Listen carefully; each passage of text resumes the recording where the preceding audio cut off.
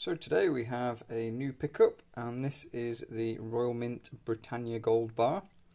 So there are a few reasons why I don't tend to buy bars in general in terms of gold and I'll go through some of those as we uh, go through the video. But first let's take a look and uh, have a closer look at the bar. So the bar comes in this assay and this uh, sort of protective plastic just keeping the assay nice and clean uh, I'm just going to leave that on because, you know, why not? In terms of the packaging, you know, it's a nice design. It's uh, about the size of a credit card, that sort of size. And the gold bar itself is actually bigger than what I expected. So this is a one ounce gold Britannia, just for comparison. So you can see it actually, you know, it does look quite a good size. When I first saw a one gram gold bar, it wasn't a Britannia one, but just in general, it looks like a, a, SIM card, you know, or even a bit smaller. They're tiny. So I thought one gram bars were smaller than what I anticipated, but this actually does look bigger than what I thought, you know. Good size compared to the Britannia coin. And when I've previously had a one ounce cast gold bar, again, that was, you know, very small, like a, a bit bigger than the thumbnail kind of size. But this is, uh, yeah, an impressive size, really.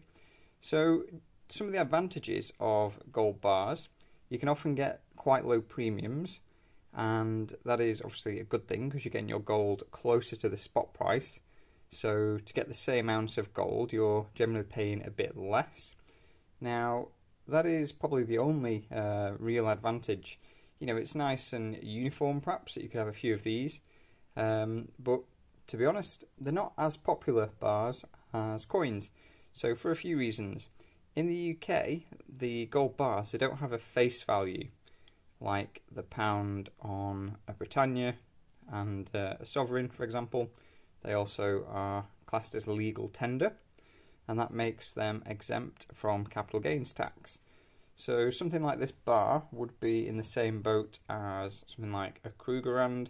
It isn't a British pounds denominated, you know, legal tender coin.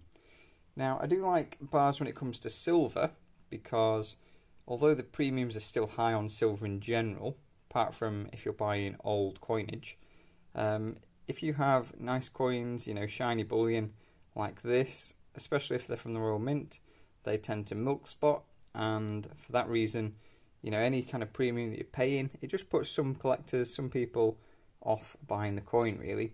So you're playing a bit of a lottery whether your coins will get milk spots and a lot of the Royal Mint ones tend to, especially the Britannias, you know, they just seem to have really, really poor quality uh, for the silver Britannias. So coins in general are preferable for the capital gains tax reason, and people just seem a bit more at ease buying a coin, especially when it's got you know all these security features on the modern Britannia, based over here in the UK. Um, this coin, it's uh, sorry, this bar, it doesn't actually have any security features you know the design it's quite intricate and to copy it exactly yeah you'd need to you know put a bit of effort in. But the bar it's just easier to mimic in a lot of people's eyes. So it does have the serial number and you can obviously match that with um, you know just this bar. It's not like if you see a load of serial numbers the same then it's going to be a bit of an issue because there's supposed to be one of each serial number, obviously. So that would uh, you know be a first red flag. Um, you can test these bars whilst they're in the assay through the um, Sigma metalytics and things like that. But um, what you want to look for really is the thickness of the bars. So often in the faked ones, like um, people bring up the Perth Mint bars a lot. You know, Perth Mint do make genuine bars but there are copies of most bullion items that you get, uh, you know, online. So just be wary of buying anything, whether it's a bar or a coin. If it's like, you know, 50% under spot or 10% of spot or something, it isn't going to be genuine. You know, you often see them online, um, found in an old house or found in the loft or something like that. You know, just it's not worth it. Just don't just don't buy them and uh, stick to you know some reputable bullion dealers um, especially if you're not very experienced. So overall, I do like the bar, the design. It does come in the 10 ounce silver. It does come in the 100 ounce silver as well. Uh, I haven't seen them in one ounce silver, but I know like the Una and the Lion that does come in the one ounce size, so maybe it does. And I believe these come in a smaller size in gold as well. Um, I haven't actually seen them, but I think somebody said to me they go right down to the one gram size, which would be very small, and you'd probably struggle to appreciate the design. So it's probably not something I'm going to stack. Uh, I did buy it at a relatively low premium when I picked it up.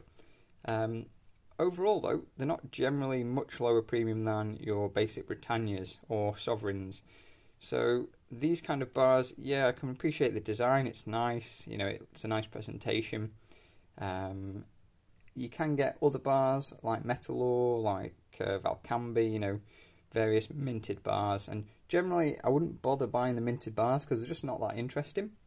Uh, you know, they haven't really got much of a design. They're just a plain, cheap way of buying gold, which might appeal to some people. But, you know, I did buy this because it was a good premium, and like I say, it's got a nice design on it. It's still a Britannia, so yeah, it's not something I'm going to stack a lot of, unless I hadn't got any other options. I would definitely go with coins over bars in general.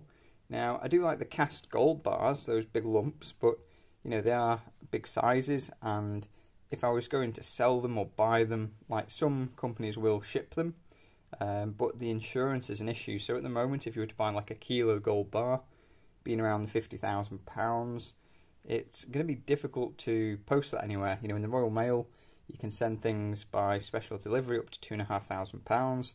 So even a fifty gram bar, you know, you're at the sort of upper limit there, uh, depending on the spot. So overall, I think I would have a bit of a, a bit of a headache, you know, trying to sell uh, big gold bars compared to just selling multiple coins.